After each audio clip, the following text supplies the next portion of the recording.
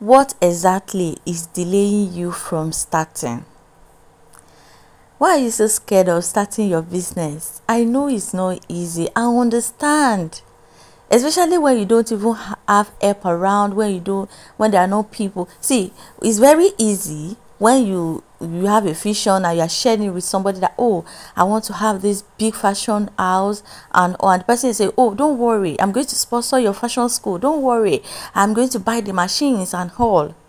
It's very easy to start like that. But then when you have zero support like or even even have the support it's like oh you can do it you know all those support not financial support or physical support it's very difficult to start but then nobody is going to start it for you. Only you will start.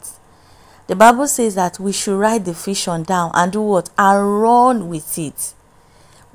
In the next five years what do you want to become? Write it down. I'm not a motivational speaker but please listen to what i'm saying in this video. Very important. I understand that there are a lot of people out there now that they already know oh they want to have this oh they love this. But then they are just so scared of starting. There is no definition of starting. If i begin to tell you that oh this is the principle towards starting this is what you're going to do this is chemical. there is no because everybody's starting point is different some people start big while some people start very small. I shared some videos, I mean some pictures um, on my WhatsApp status, I think last week. And a lot of people commented on those pictures. I was sharing my past pictures where I started uh, my journey, my business. I have done several things. I remember when I was doing tire furniture or selling it on Jumia and all those things. And I started hearing so many people were asking so many questions. How do I start? Where do I begin now? See, me, I don't even know how you can start because me, I just started anyhow. I just look at, oh, I can do this thing and I'll do it. I'll post it. Oh, I can do this. I'll, I'll do this. I'll, you understand? So just start anyhow. Start by learning that skill. Start by perfecting the skill that you've learned. Start, just start anyhow. Start by making video of your product. Start by just climbing your ma uh, uh, your machine or just just sewing anything, snapping it. Start by opening that um, Facebook account Start by posting on your Instagram account that has been dormant for more than one year now. Start by posting frequently on your TikTok account. You can you too can have followers. It's just matter of consistency and determination. It might take time. Okay? You think you cannot sell online? You can.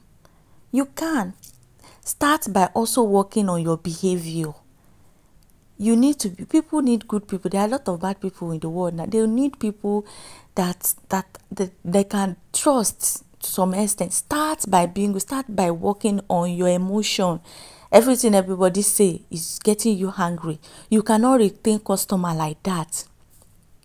Start by working on your communication skill. When you talk to people like this it will throw them away when customers are complaining about your product you, you to say sorry is a problem. Start by learning basic things principles of life. Start.